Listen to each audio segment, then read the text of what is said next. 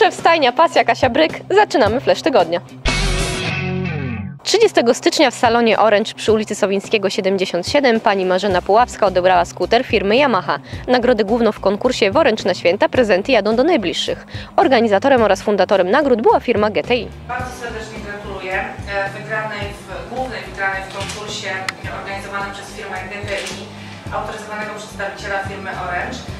E, Nagrodą główną jest e, skuter e, i bardzo się cieszę, że to klient naszego salonu wygrał główną nagrodę. 31 stycznia w Hutniku odbyło się spotkanie z kandydatem PiSu na stanowisko premiera, profesorem Piotrem Glińskim. Mówiłem dużo o innowacjach i o budowie no, takich ośrodków czy, czy inkubatorów tej innowacyjności odpowiedzialnych za łączenie biznesu y, z myślą naukową. Y, To są różne, mogą być różne programy, y, które no, stymulują tego rodzaju współpracę międzysektorową.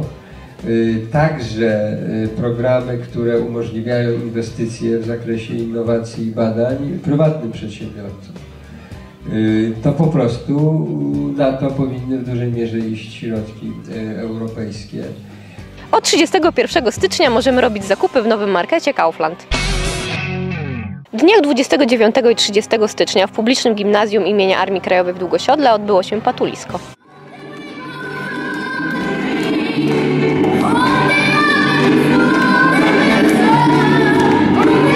Jak wstępnie możemy podsumować całą imprezę?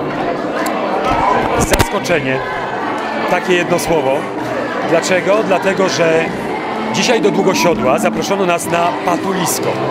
Patulisko w rozumieniu struktury patu to jest spotkanie ludzi, coś tak trochę jak harcerzy. Gitara, siedzimy, rozmawiamy, przytulamy się, mówimy do siebie ważne rzeczy, ale w takim klimacie kręgu. Takiego swojego kręgu fajnych młodych ludzi, którzy się spotkali, żeby sobie pogadać, potańczyć. Okazało się, że są warsztaty, a warsztaty są wyższą półką, bo warsztaty to już jest przystanek PAD, czyli pracujemy, nie tylko siedzimy, śpiewamy, gadamy, ale pracujemy. Z kim? Z instruktorem. Jakie warsztaty? Taniec, wokal, tu mieliśmy rękodzielnictwa, e, prawdopodobnie to się nazywa filcowanie. Nie jestem w tym biegły, ale prawdopodobnie tak. W tym filcowaniu zrobiono logo patu jakąś taką fajną laurkę. I te warsztaty prowadzą zawodowi instruktorzy. Młodzi ludzie się uczą i odkrywają swoje pasje. Tutaj tych warsztatów było kilka dobrych warsztatów. A jaka jest największa korzyść patu? Świat bez uzależnień. Po prostu świat bez uzależnień.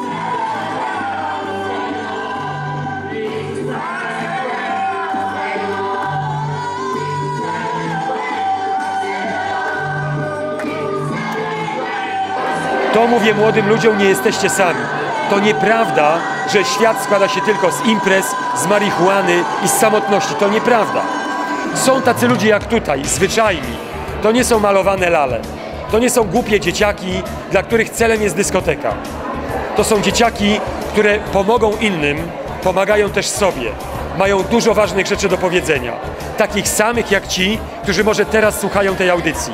Takich samych jak ty, który teraz tego słuchasz. Być może ciebie nikt nie słucha. W pacie masz szansę, by być razem, by nie odczuwać tej samotności i by mieć swoje zdanie. Młodzi ludzie mogą być zbuntowani, bo są, mieć swoje zdanie, bo mają, mają swoją godność. Młodych ludzi trzeba szanować, trzeba słuchać, co mają do powiedzenia. Oni mają prawo do życia, do swojego życia. Duma. Dlaczego? Bo oto dzisiaj jest święto. Święto Długosiodła, bo dzisiaj w Długosiodle mianowałem lidera PAT-u. Długosiodło, wielkie gratulacje, tak trzymać. 30 stycznia w sali konferencyjnej Starostwa Powiatowego odbyła się 29. sesja Rady Powiatu. Ważnym punktem sesji był wybór kandydata powiatu wyszkowskiego na członka Powiatowej Rady Zatrudnienia w Wyszkowie. Niemal jednogłośnie na kandydata wybrano dotychczasowego przewodniczącego Tadeusza Michalika. 28 stycznia rozpoczęły się ferie. O tym, co poszczególne placówki przygotowały dla uczniów, możecie dowiedzieć się z naszego kalendarza na stronie www.tubawyszkowa.pl. 2 stycznia na sali WOSIR poloneza zatańczyli uczniowie z zespołu szkół nr 3 w Wyszkowie. Tam na dorocznym balu szkolnym, balu organizowanym w okresie karnawału, tuż przed maturą, na 100 dni przed maturą, roku 2013.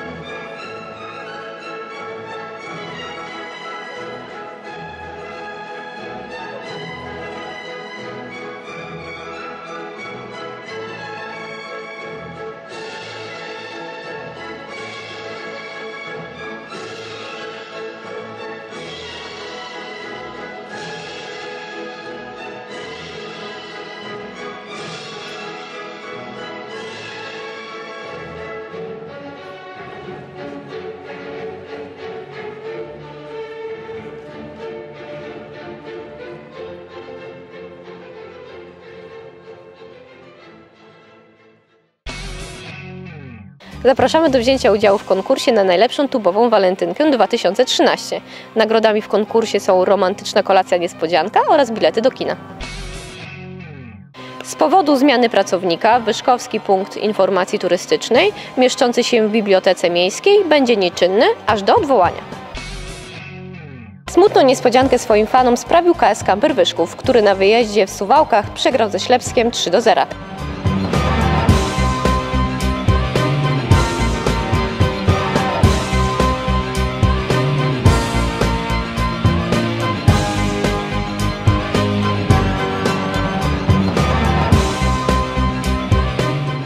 Drugiego lutego w Legionowie drużyna MKS Bóg Wyszków zremisowała z drużyną Kosy Konstancin 1 do 1. Gościmy dziś w stajni Pasja. Jest ze mną pani Agnieszka Skowrońska. Proszę mi powiedzieć, jakie są propozycje stajni na drugi tydzień ferii. No my zapraszamy bardzo serdecznie na jazdę konną i na zajęcia z końmi, zarówno młodsze dzieci, młodzież, jak i osoby dorosłe. E, Nie tylko w ferie, ale przez cały rok jeździmy. E, Mamy piękne tereny, krytą halę do jazdy konnej, także bez względu na pogodę możemy się na koniach bawić, jak i przy koniach, także serdecznie zapraszamy. Jazda konna jest oczywiście bardzo, bardzo miła i fajn, fajną formą spędzenia czasu, ale jest też zdrowa.